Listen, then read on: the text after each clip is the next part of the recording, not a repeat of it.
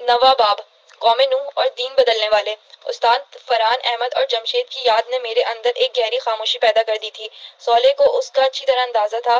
उसने मेरी तवज्जो एक दूसरी तरफ़ बटाने के लिए कहा, तुम भूल गए हो कि हम असल में रसूल अल्लाह सल्लल्लाहु अलैहि वसल्लम से मिलने निकले थे। तुम बीच में बैठ गए। अब वो खुद तुम्हें याद कर रहे हैं। क्या अबू अभी तक रसूल से नहीं मिले? अनवर ने हैरत से कहा सोले वजाहत करते हुए कहने लगा हर शख्स जो मैदान हशर में कामयाब होकर आता है वो पहले सीधा रसूल सल्लल्लाहु वसल्लम के पास जाता है। वहाँ हजूर अपने हाथों से उसे जाम कौसर अता करते हैं। उसके घर वालों को भी उस मौके पर वहीं बुलवा लिया जाता है। उसके बाद वो लोग शोर मचाते और मज़ा करते हुए बकौल तुम, तुम्हारे वालिद के उस झील के किनारे किसी जगह आ बैठते हैं।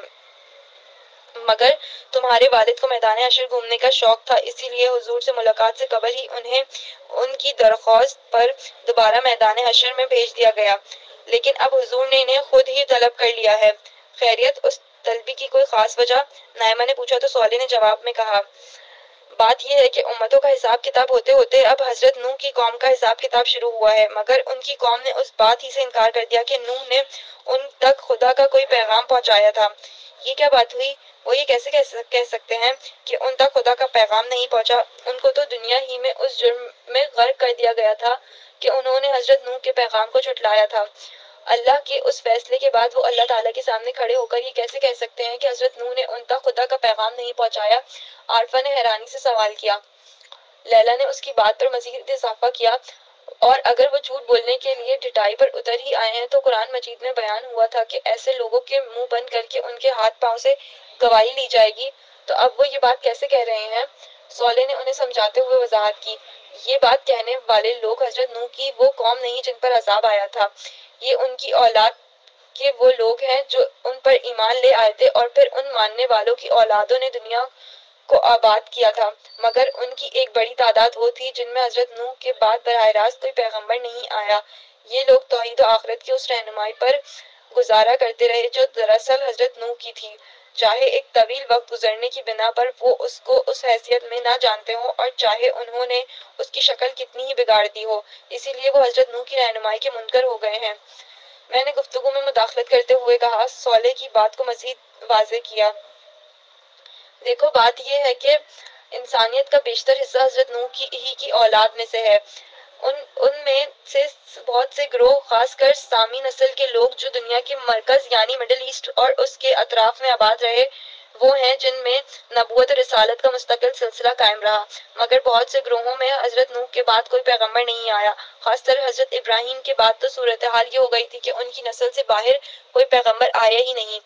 चुनाचा यही वो बाकी लोग हैं जो औलाद नूह या कौम नूह में से हैं।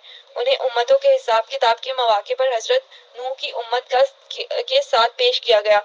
मगर ये लोग बर रास्त हज़रत नूह की तालीमत को उनके नाम से उस तरह से नहीं जानते जिस तरह अहले किताब या मुसलमान जानते थे। चुनाचा उन लोगों ने हज़रत नूह के पैगाम पहुँचाने का इनकार कर दिया। और उनकी ये बात एक तरफ़ से गलत नहीं है। सोले ने मेरी बात को आगे बढ़ाते हुए कहा अब्दुल्ला ने ठीक कहा। हकीकत यह है कि नू की उस कौम तक खुदा का पैगाम असल में उम्मत मोहम्मदिया ने पहुँचाया था। इसीलिए रसूल सल्लल्लाहु अलैहि वसल्लम की उम्मत के तमाम अवलीन और आखरीन शहदा को बुलाया जा रहा है, जिन्होंने पिछली दुनिया में उन लोगों पर हक की गवाही दी थी। आज ये शहदा बताएँगे कि उन्होंने किसी न किसी तरह उन लोगों तक तोहहीद का वो पैगाम पहुँचा दिया था, जो हज़रत नूह की विरासत था और जो बाद के अदवार में ज़ाया हो गया था। मगर आखिरी रसूल की बासत के बाद ताकयामत उस पैगाम को महफूज कर दिया गया। और उम्मत मुस्लिमा ने तोहीद की ये अमानत औलाद नूह तक पहुँचा दी थी। नायमा ने मेरी तरफ़ देखते हुए पूछा तो फिर इन्हें उम्मत मोहम्मदिया के साथ क्यों नहीं पेश किया गया? वो इस्लाम कबूल कर लेते तो ऐसा ही होता, मगर उन्होंने इस्लाम कबूल नहीं किया और अपने तहरीफ शुदा आबाई मज़हब पर कायम रहे। आज हर उम्मत चूँकि अपने रसूल के साथ पेश की जा रही है तो ऐसे सारे लोग कौम नूह के तौर पर पेश किए गए हैं क्योंकि उनके आबा अजदाद हज़रत नूह सलाम पर ईमान लाए थे। मैंने जवाब दिया और फिर खुलासा बहस के तौर पर कहा, अपनी कौम के इब्तदाई हिस्से को पैगाम इलाही खुद हज़रत नूह ने पहुँचाया और आखिरी हिस्से को मुसलमानों ने पहुँचाया, जो नूह समेत तमाम रसूलों के पैगाम में तोहीद और आखिरत के अमीन थे। चलो भाई, अब बुलाया जा रहा है। सोले मुझसे मुखातिब होकर बोला उसके साथ ही हम दोनों उठकर वहाँ से रवाना हो गए। हम एक दफ़ा फिर रसूलुल्लाह सल्लल्लाहु अलैहि वसल्लम की बारगाह में मौजूद थे। वही नूर, वही जमाल, वही जलाल। मुझे ये महसूस होता था कि मैं सदियों से हुजूर को जानता हूँ। मुझे महसूस हो रहा था कि जैसे आपकी मोहब्बत मेरे दिल में बढ़ती जा रही है। मैं उस वक्त भी हुजूर की मजलिस में पिछली नशस्त पर बैठा, टिकटिकी बांधे हुजूर के चेहरे पर नूर को देखे जा रहा था। हुजूर उस वक्त अपने करीब, करीबी बैठे सहाबा से कुछ गुफ्तगु कर रहे थे। इसी असना में उनके करीब आकर एक सहाबा ने उनके कान में कुछ कहा। सोले ने जो मेरे साथ बैठा हुआ था, सरगोशी के अंदाज में मुझसे कहा, ये खात्मे रसूल हज़रत अनस हैं और हुजूर को तुम्हारे बारे में बता रहे हैं। उसके साथ ही हुजूर ने नज़र उठाकर मुझे देखा और एक दिल नवाज़ मुस्कुराहट के साथ मेरा इस्तकबाल किया। उससे सोले की बात की तस्दीक हो गई कि हज़रत अनस ने मेरी ही आमद से हुजूर को मुतला किया था। फिर मुस्कुराते हुए हाजिरीन से फरमाया, अल्लाह के पैगंबर और इंसानियत की जुदा मजद नू की उम्मत ने उनकी शहादत को ये कहकर कबूल करने से इनकार कर दिया कि नूह ने उन तक बरह रास्त कोई पैगाम नहीं पहुँचाया। हकीकत यह है कि ये पैगाम मेरी उम्मत के ने कौम नूह तक पहुँचाया था। आप हजरात, चूँकि तमाम अम्बिया के मानने वाले हैं और मेरी वसादत वसादत से जो दीन आपको मिला वही नूह को भी मिला था। इसीलिए आपकी ये ज़िम्मेदारी है कि हज़रत नूह की तरफ़ से आप लोग अल्लाह ताला की बारगाह में पेश हों और ये गवाही दें कि ईमान हमले सौले की जो दावत नूह ने दी थी और जो मैंने आप लोगों तक पहुंचाई थी, वो आपने बिलक कासित कौम नूह तक पहुँचा कौम नूह तक पेश करके मेरे और नूह के मिशन की तकमील कर दी थी। ये कहते हुए हुजूर ने अपने बराबर बैठे हुए हज़रत अबू बकर से कहा, अबू बकर खड़े हो जाओ। ये सुनते ही अबू बकर खड़े खड़े हो गए। फिर आपने हाजरीन से मुखातिब होकर कहा, ये मेरे रफीक अबू बकर हैं। उनके अलावा मेरे ज़माने से लेकर ता क़यामत तक के तमाम ज़मानों के मेरे मानंद उम्मती यहाँ मौजूद हैं। आप लोग अबू बकर की क़यामत में अल्लाह ताला की बारगाह में पेश हों और उस हक की गवाही दें जो आपके पास है। ये कहते हुए हुजूर खड़े हो गए। और उसके साथ ही सारे हाजरीन भी खड़े हो गए। अबू बकर ने सल्लल्लाहु अलैहि वसल्लम के हाथों का बोसा लिया और आगे बढ़ गए। उसके बाद तमाम हाजरीन ने एक एक करके नबी करीम के हाथों का बोसा लिया। मेरा नंबर सबसे आखिरी में था। मैंने भी ये शर्फ हासिल किया और उसके बाद हम सब सैदना अबू बकर की क़यामत, क़यादत में मैदान हशर की तरफ़ रवाना हो गए। मैं उन बुज़ुर्ग हस्तियों के दरमियान सबसे पीछे चल रहा था। सोले मेरे साथ नहीं था। हजूर की मस्जिद से उठते हुए वो मुझसे ये कहकर अलग हो गया था कि ये कार शहादत देने तुम्हें तनहा जाना होगा।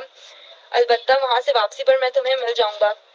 मैं रास्ते में दिल ही दिल में ये सोच रहा था कि मैं इस काबिल नहीं कि ऐसी बाबरकत और बुज़ुर्ग हस्तियों के बीच उम्मत मोहम्मदिया की नुमाइंदगी करूँ। मुझ पर यह एहसास इतना गालिब होने लगा कि मैंने सोचा कि मैं खामोशी से इस मजमे से निकल जाता हूँ, किसी को क्या पता चलेगा। अल्लाह ताला मेरे ज़माने के किसी और शख्स को बुलवा लेंगे उस ख्याल से मैं आहिस्ता आहिस्ता पीछे होने लगा। यहाँ तक कि मेरे और उन लोगों के बीच में काफ़ी फासला हो गया। मैंने मौाक़े गनीमत जाना और वापस हौज कौसर की सिम जाने के लिए मुड़ा ही था कि पीछे से यकायक आवाज़ आई, अब्दुल्ला, ये क्या कर रहे हो? मैं घबरा कर पलटा तो पीछे सैदना अबू बकर खड़े थे। मैं कुछ शर्मिंदा सा हो गया। मेरी हालत ऐसी हो गई जैसे मैं चोरी करते हुए पकड़ा गया हूँ। मैंने पहले सोचा कि कोई बहाना बना दूँ, मगर ख्याल आया कि ये दुनिया नहीं, मैशर है। अल्लाह ताला उसी वक्त असल बात खोल देंगे। लिहाजा मैंने सही बात बताने ही में आफियत समझी। साथ में उससे, उनसे ये दरख्वास्त भी की कि मेरी जगह किसी और को ले ले जाया जाए। अबू बकर मेरी बात सुनकर हंसने लगे और बोले, शहादत के लिए लोगों का इंतखब अल्लाह ताला ने किया है। उसी ने एक फरिश्ते के ज़रिए मुझे ये बता दिया कि अब्दुल्ला की वजह की किस वजह से वापस जा रहा है। उन्होंने आहिस्तगी से मेरा हाथ थाम लिया और आगे की तरफ़ चलने लगे। रास्ते में वो मुझे समझाने लगे, देखो अब्दुल्ला, मजमे में हर शख्स का इंतखब अल्लाह ताला ने किया है। जानते हो कि उसके नज़दीक इंतखब का मैार क्या है? मैं खामोशी से उनकी शक्ल देखने लगा। उन्होंने अपने सवाल का खुद ही जवाब दिया। तासुबात, जज्बात और ख्वाहिशात से बुलंद होकर जिस शख्स ने हक को अपना मसला बना लिया और तोहहीद आखरत को अपनी ज़िंदगी का मिशन बना लिया, वही अल्लाह के नज़दीक उस शहादत के काम के सबसे ज़्यादा हकदार हैं। देखो, तुम्हारे ज़माने के मजहबी लोग ख्वाहिशात से तो शायद बुलंद हो गए थे, मगर उनकी अक्सरियत तासुबात और जज्बात से बुलंद नहीं हो सकी। लोग मुख्तलिफ़ फ़िरकों और मसालिक के असीर थे। वो सिर्फ़ उसी बात को कबूल करते थे जो उनके हल्के के लोग करें। वो लोगों को अपने ही फिरके की तरफ़ बुलाते थे। वो अपने अकाबरीन की बड़ाई के एहसास में जिया करते थे।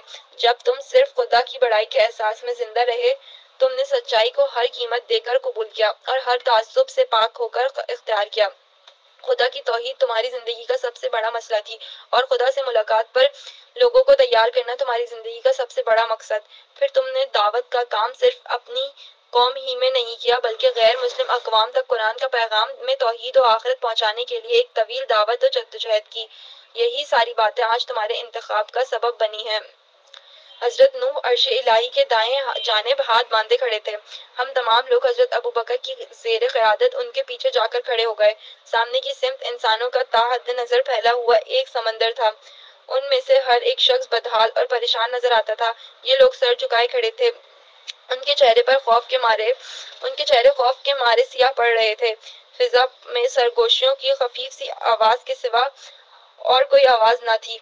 यही हज़रत नू की वो उम्मत थी जो दरअसल उनकी औलाद में पैदा होने वाले वो लोग थे। कुछ देर में एक सदा बुलंद हुई। नू के गवाह बारगाह इलाई में पेश हों। मेरा ख्याल था कि अब हज़रत अबू बकर आगे बढ़कर कुछ कहेंगे, मगर उस वक्त मैंने देखा कि पीछे से नबी करीम तशरीफ़ लाए और अर्शी लाई के सामने खड़े हो गए। फरमाया गया, कहो, ए मोहम्मद, क्या कहना चाहते हो? रसूल सल्लल्लाहु अलैहि वसल्लम ने बारगाह अहदियत में अर्ज़ किया। परवरदिगार, तूने मुझे नबूवत दी और मेरा कल, और अपना कलाम मुझ पर नाजिल किया। उस कलाम में तूने मुझे बताया कि नू भी वही दीन तोहीद लेकर आए थे जो तूने मुझे अता कर रहा है, जो तू मुझे अता कर रहा है। उसी दीन हक की शहादत में मैंने अपनी उम्मत पर दी और अब ये लोग तेरे सामने पेश हैं ताकि ये गवाही दें कि उस दीन हक को उन्होंने औलाद नू तक बकमो कास्त पहुँचा दिया था। इरशाद हुआ, तुमने सच कहा, अपने उम्मतियों को पेश करो। उस पर सैदना अबू बकर ने आगे कदम बढ़ाने शुरू किए और हज़रत नूह के बराबर में जाकर खड़े हो गए। हम सब भी उनकी पैरवी में उनके पीछे जाकर खड़े हो गए। आवाज़ आई, तुम कौन हो? हज़रत अबू बकर रजील्ला ने अपना तारुफ कराया और फिर हम में से हर शख्स का नाम और जमाना बयान करके उसका तारुफ कराया। आपने अर्ज़ किया कि हम उम्मत मोहम्मदिया हैं। हम पर आपके आखिरी नबी मोहम्मद सल्लल्लाहु अलैहि वसल्लम के हक की शहादत दी और ये बताया कि नू भी उसी दीन को लेकर आए थे। नू और मोहम्मद का यही दीन हमने दुनिया की तमाम अकवाम को पहुँचाया। उन लोगों को भी हमने हक पहुँचा दिया था, जो आपके सामने उम्मत नू की हैसियत में मौजूद है। उस गवाही के बाद उम्मत नू के लिए जाय फरार के रास्ते बंद हो गए। ये बात वाजे हो गई कि नू का दीन वही था जो मोहम्मद सल्लल्लाहु अलैहि वसल्लम का था, और उम्मत मोहम्मदिया ने उस दीन को दुनिया तक पहुँचा दिया था। अब उम्मत नू का हिसाब उसी गवाही की रोशनी में होना था। हमारा काम खत्म हो चुका था, इसीलिए हम लोग वापसी के लिए रवाना हो गए। हमारा काफिला वापसी के सफ़र में रवा दवा था। उस दफ़ा सालार काफिला नबी और आखिरी जमा खुद थे। हमारा काफिला फरिश्तों की हिमायत में मैदान हशर से गुजरता हुआ हौज कौसर की सिम जा रहा था। मैं अपनी रसवाई के अंदेशे से जरा पीछे ही चल रहा था यकायक किसी ने मेरे कंधे पर हाथ रखकर कहा, भाई, तुम कहाँ भागने की कोशिश कर रहे थे? मैंने पीछे मुड़कर देखा तो सोले जेर लब मुस्कुरा रहा था। मैं शर्मिंदा होकर खामोश रहा।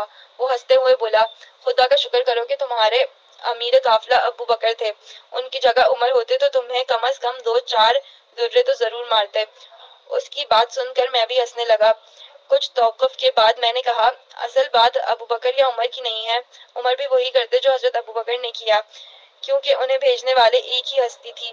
उस रब करीम की जो सारी ज़िंदगी मेरी पर्दापोशी करता रहा था। फिर एक अंदेशा मेरे जहन में पैदा हुआ कि मैंने सोले से पूछा, तुम्हें मेरे बारे में कैसे पता चला? क्या सब लोगों को ये बात मालूम हो गई है? नहीं नहीं, अबू बकर बड़े हलीम तबा शख्स हैं। उन्होंने किसी को नहीं बताया। रहा तो मैं तो अल्लाह ताला ने मेरे ही ज़रिए से हज़रत अबू बकर को तुम्हारे बारे में पैगाम भिजवाया था। इसीलिए मुझे मालूम हो गया। वैसे तुमने सच कहा। जानते हो अल्लाह ताला ने क्या कहलाकर मुझे अबू बकर के पास भेजा था? मेरे जवाब का इंतज़ार किए बगैर वो बोला, मेरे बंदे को संभालो, वो इनकिसारी में अपनी ज़िम्मेदारी फरामोश करने जा रहा है। शर्मिंदगी और एहसान मंदगी मंदी के मिले जुले जज्बात के साथ मैंने अपना सर झुका दिया। कुछ देर बाद मैंने सोले से दरियाफ्त किया। यहाँ अशर के मामला किस तरह चल रहे हैं? मुख्तलिफ़ अम्बिया की अपनी उम्मतों के बारे में शहादत देने का अमल जारी है। हर नबी और रसूल अपनी उम्मत के बारे में ये शहादत दे रहा है कि उसने अपनी उम्मत तक रब का पैगाम पहुँचा दिया था, जिसके बाद हर वो शख्स जिसका अमल उस तालीम के मुताबिक होता, उसकी खताएँ दरगुजर करके उसकी कामयाबी का ऐलान कर दिया जाता। सोले ने जवाब दिया मुझे याद आ गया। सोले ने बताया था कि हिसाब किताब के इस दौर के बाद अमूमी हिसाब किताब शुरू होगा। मुझे आस बन गई कि शायद उस मरहले में मेरे बेटे जमशेद की निजात का कोई फैसला हो जाए, मगर ज़ाहिर है मेरे हाथ में कुछ नहीं था। मैंने सोले से पूछा, यहाँ क्या हालात हैं? हालात का ना पूछो। किसी का कोई पुरसाने हाल नहीं है। इस पर मजीद के किसी को नहीं मालूम कि उसके साथ क्या होगा। हम दोनों ये गुफ्तगु करते हुए काफिले के पीछे पीछे चल रहे थे कि अचानक एक जोरदार शोर बुलंद हुआ।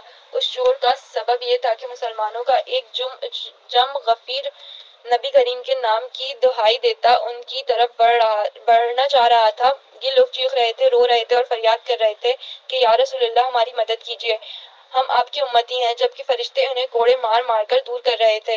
ये लोग हशर की सख्तियों से इतने तंग आ चुके थे कि मार खा कर भी रसूल सल्लल्लाहु अलैहि वसल्लम की सिमत बढ़ने की कोशिश किए जा रहे थे। उन्हें रसूल सल्लल्लाहु अलैहि वसल्लम की सूरत में बमुश्किल उम्मीद की एक किरण नज़र आई थी। रहमतुल्लिल आलमीन सल्लल्लाहु अलैहि वसल्लम ने ये मंजर देखा तो फरिश्तों के सरदार को अपने पास बुलाकर पूछा कि ये लोग तो मेरे उम्मती, मेरे नाम लेवा मेरा कलमा को है? इनके साथ ये सलूक क्यों हो रहा है?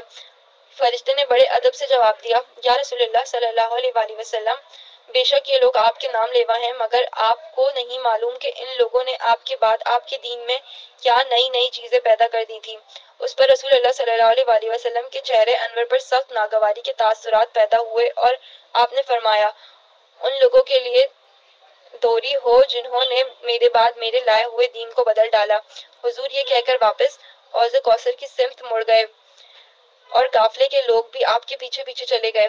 मैं भी आगे बढ़ना चाह रहा था कि सोले ने कहा, रुको और देखो यहाँ क्या होता है। मैंने देखा कि फरिश्ते उन लोगों पर बुरी तरह पल पड़े हैं। उसी असना में मैदान अशर की बाएँ जानब से कुछ मजीद फरिश्ते भी आ गए। उन्होंने इंतहाई बेरहमी से उन लोगों को मारना शुरू कर दिया। फरिश्ते एक कोड़ा मारते और हज़ार लोगों उसकी जद में आकर चीखते चिल्लाते दूर जा गिरते। थोड़ी ही देर में हौज के करीब का इलाका साफ़ हो गया। मार खाते और बिलबिलाते हुए ये लोग जिन्होंने दीन इस्लाम में नत अकीदे और अमाल इजाद कर लिए थे, अपनी रसवाई और बदबख्ती का मातम करते हुए वहाँ से रुखसत हो गए। मैं सोले के साथ खड़ा ये इबरतनाक मंजर देख रहा था। मैं सोच रहा था कि वो, ये वो बदनसीब है जिनके लिए कुरान मजीद की हिदायत और रसूल अल्लाह सल्लल्लाहु अलैहि वसल्लम की सुन्नत नाकाफी थी। इसीलिए उन्होंने उसमें इजाफा और तब्दीली करके दीन हक का चेहरा चेहरा मस्क करने की कोशिश की। इस, इनके पास अपनी हर गुमराही और बदअमली की एक बेजा मुंतक मौजूद होती है। जब कोई समझाने वाला इन्हें समझाने की कोशिश करता कि ये इसकी जान के दुश्मन हो जाते, जब इन्हें बताया जाता कि कुरान मजीद से बाहर कोई अकीदा ईजाद नहीं किया जा सकता और रसूलुल्लाह सल्लल्लाहु अलैहि वसल्लम की सुन्नत के अलावा कोई और अमल खुदा के यहाँ मकबूल नहीं हो सकता तो ये उन बातों को बकवास समझते और अपनी गुमराहियों में मगन रहते थे। मगर उसका नतीजा उन्होंने आज भुगत लिया था। मैं ये सब सोच ही रहा था कि सोले ने मुझसे कहा, अब्दुल्ला, मैं इंसानों को नहीं समझ सका कि आखिर हर नबी की उम्मत ने हिदायत वाज तौर पर पा लेने के बाद बिद्दतों में इतनी दिलचस्पी क्यों ली? तुमने अच्छा सवाल किया है। मैं खुद भी ज़िंदगी भर इस मसले पर सोचता रहा हूँ। मेरे ख्याल में इसकी असल वजह गुलू है। इंसान बड़ी जज्बाती मखलूक है। वो अफरात तफरीक, तफरीत का शिकार हो जाता है।